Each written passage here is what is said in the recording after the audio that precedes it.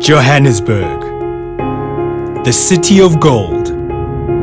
Also, the city of countless beggars.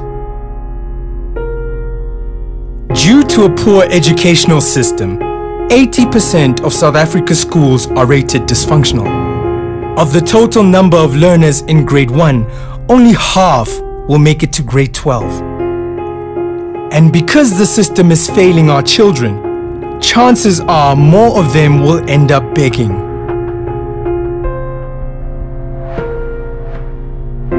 One school at a time, a registered non-profit organization plans to change this, starting with Forte High in Soweto.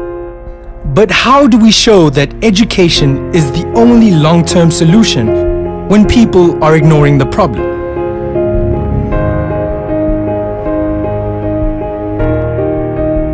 We built a device capable of interrupting any radio frequency within a 10 meter range.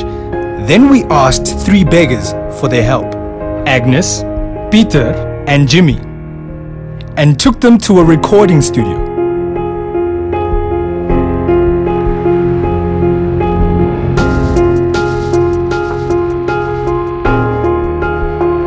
Next, we fitted them with a button camera to capture people's reactions, and then fitted our device to broadcast their voices into the very cars of the people ignoring them.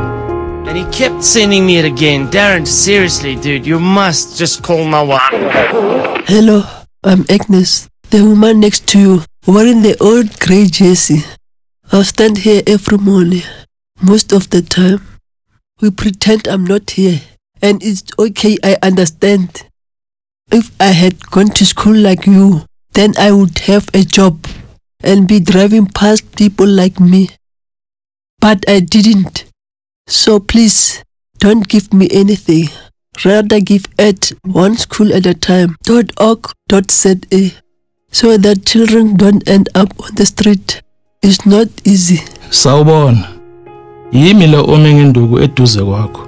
Ngigqoke ibhantshi elibrown. Igama lami nginguPeter. Angikwazi ukufunda noma ukubhala. Mhlawumbe kube bengikwazi ngabe angimi la. My naam is Jimmy en my ouers het dit nie geld gehad nie om my in skool te hou nie. Moenie vir my geld gee nie. Gee eerder vir die kinders sodat hulle kan skool klaarmaak en nie op die straat land soos ek nie.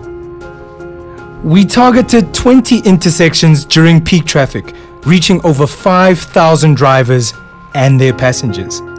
But the impact went far beyond our roads, generating over 1.2 million rand worth of PR. So to me, simply fix education, fix the greater challenges of this country. Now, lots of people would say, listen, it's, education is dysfunctional, but I can't do anything about it. With a simple, never before seen idea, we use the voices of the most ignored members of our society to make a difference, one school at a time.